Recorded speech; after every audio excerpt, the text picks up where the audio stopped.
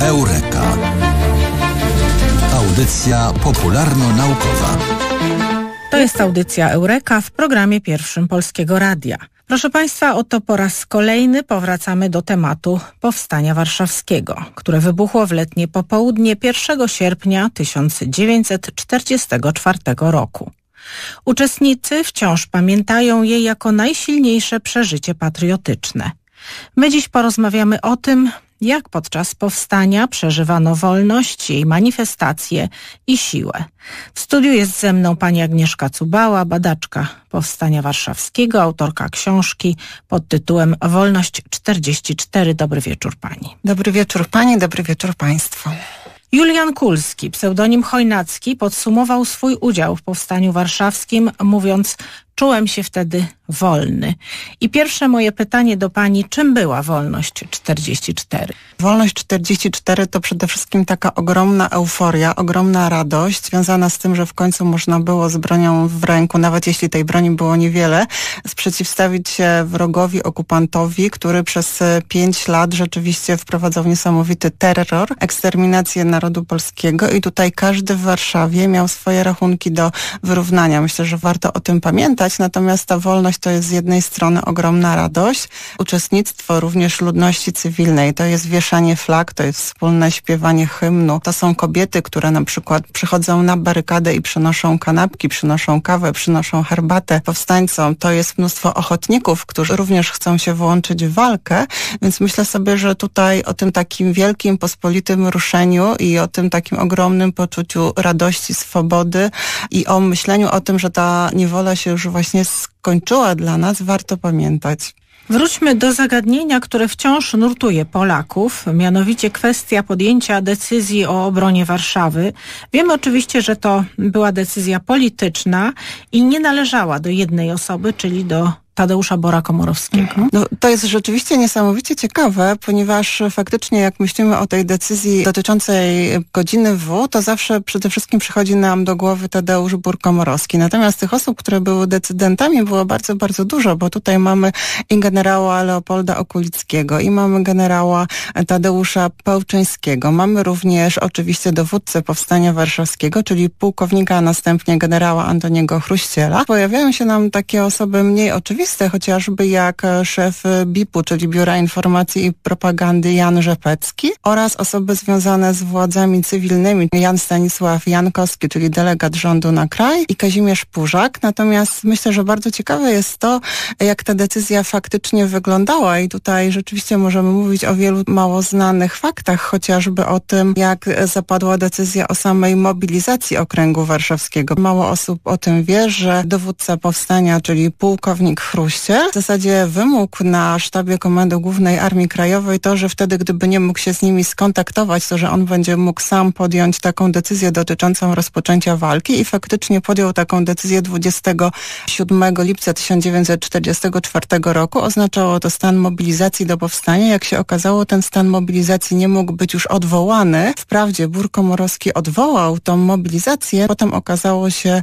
że rola pułkownika Chruściela była taka dosyć negatywna, ponieważ z historii myślę, że wszyscy Państwo wiedzą, że właśnie mówi się, że tym takim głównym powodem dotyczącym powstania warszawskiego było zauważenie na Pradze w radości, w miłości czołgów radzieckich. Pojawiły się te czołgi radzieckie, natomiast okazuje się, że właśnie akurat jego zastępca mówił o sytuacji wręcz przeciwnej. Niemcy wzmocnili i szykują się do kontrnatarcia. Takich wątków, które są takie nie do końca oczywiste jest bardzo dużo. Większość decydentów jednak nawet jeśli nie do końca brała udział w tej decyzji, tak jak e, można przypuszczać, że nie do końca uczestniczył w samym podejmowaniu decyzji o powstaniu warszawskim Jan Stanisław Jankowski, to oni wszyscy potem właśnie wzięli odpowiedzialność na siebie za tę decyzję. Zarówno Bór Komorowski, jak i Jan Stanisław Jankowski. To też są czynniki międzynarodowe bardzo istotne i tutaj warto pamiętać również o ogromnej roli naszego premiera rządu na uchodźstwie, czyli Stanisława Mikołajczyka, a także wodza naczelnego, czyli generała Kazimierza Sosnkowskiego, którzy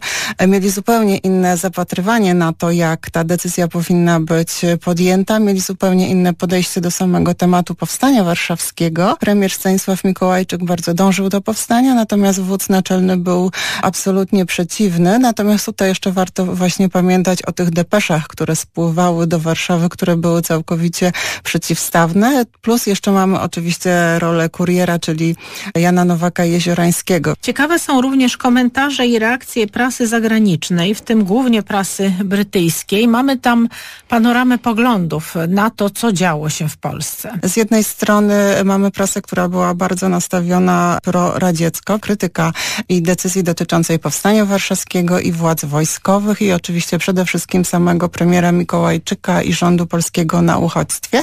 Natomiast na przykład te środowiska związane z kościołem, zarówno katolickim, jak i anglikańskim, były bardzo pozytywnie nastawione do Polaków. Mówi się, że Polacy byli tym takim najbardziej wiernym sojusznikiem aliantów zachodnich i że tak naprawdę no, nie powinni zostać pozostawieni dlatego, że walczą o swoją wolność, że walczą o swoją niepodległość, że walczą o prawo do podejmowania własnych decyzji i do tego, żeby móc rządzić we własnym kraju. Orwell krytycznie się wypowiada na, na temat władz Wielkiej Brytanii. Braku właśnie, reakcji. Tak, tak, tak, braku reakcji i mówi o tym, że za nieuczciwość zawsze trzeba płacić.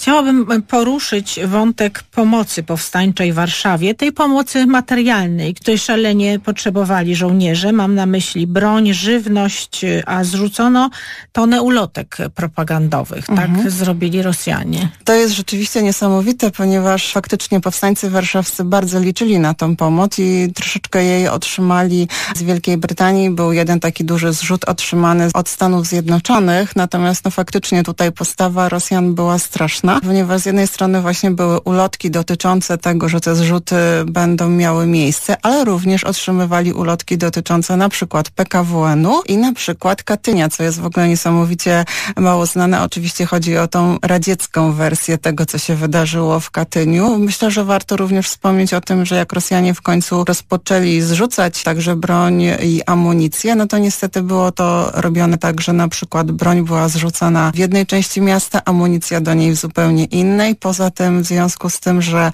zrzucali ją z wysokości, to tak naprawdę ta broń była przeważnie bardzo zniszczona i tusznikarze powstańczy musieli z kilku egzemplarzy składać jeden, więc ta pomoc była taka bardzo kurtuazyjna i pomoc Stalina dla powstańczej Warszawy była bardziej próbą udowodnienia, że coś robi dla Polaków, aczkolwiek niewiele z tego wynikało. Mówimy i myślimy o miejscach powstania warszawskiego, to Mokotów, Starówka, Śródmieście, Żoliborz czy Wola, a mniej wiemy o tym, co działo się na Pradze, na przykład w Parku Skaryszewskim, również w Kampinosie i po drugiej stronie, na południu, w Lasach Chojnowskich.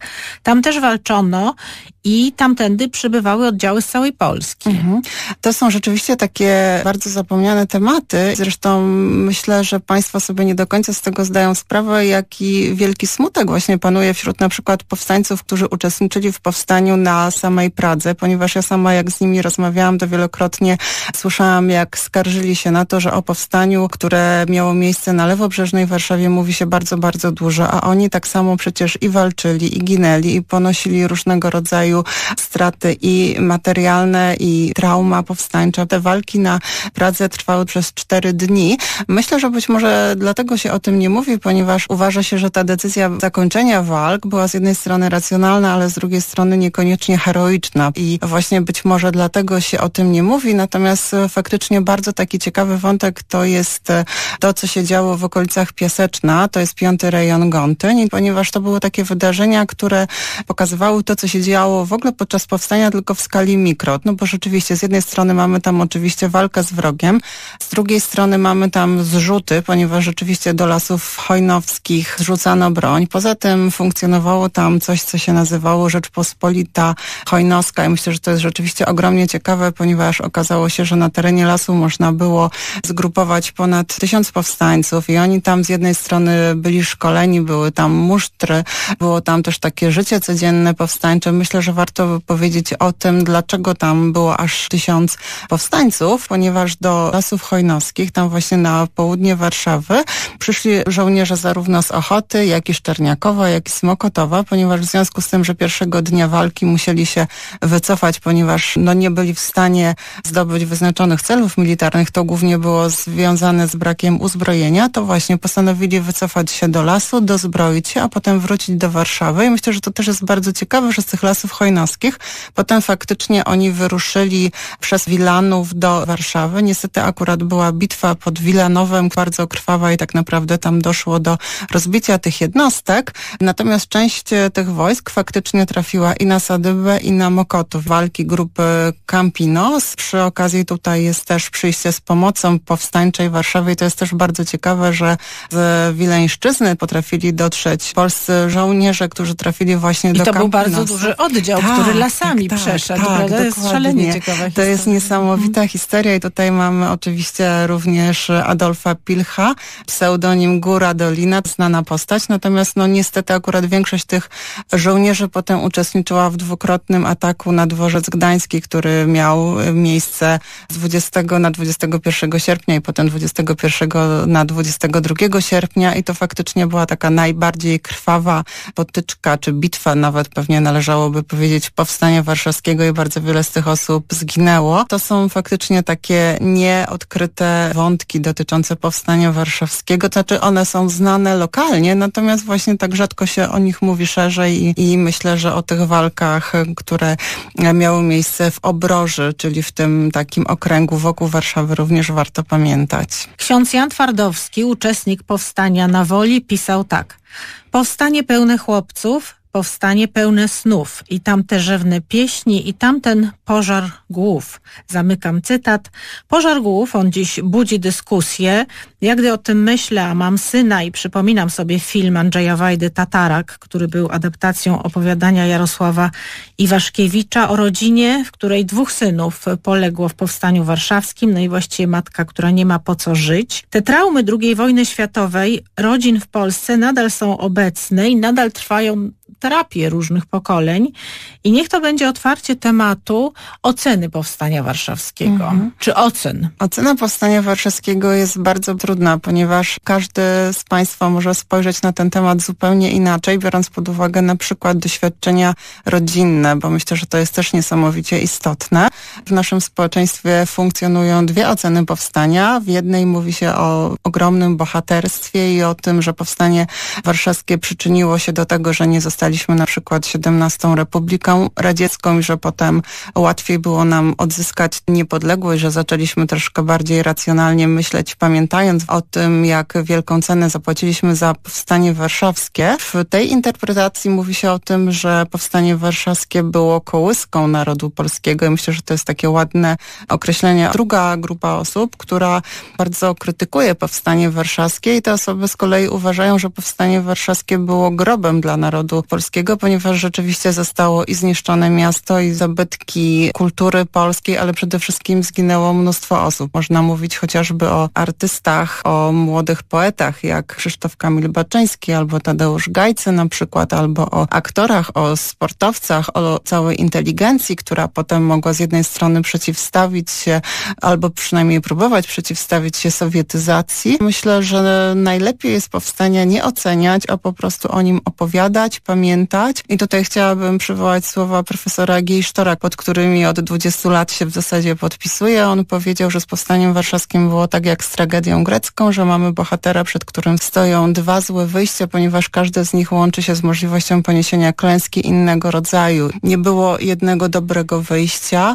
Powstańcom na pewno należy się cześć, pamięć, szacunek. Szanowni słuchacze, więcej szczegółów dotyczących omawianego dziś tematu, a zwłaszcza wypowiedzi źródłowych, bo to właśnie one pozwalają nam zbudować swoją wizję, znajdziemy w książce pod tytułem Wolność 44, a moim gościem była jej autorka Agnieszka Cubała. Dziękuję bardzo za rozmowę. Bardzo dziękuję. Do widzenia. Do usłyszenia. Katarzyna Jankowska.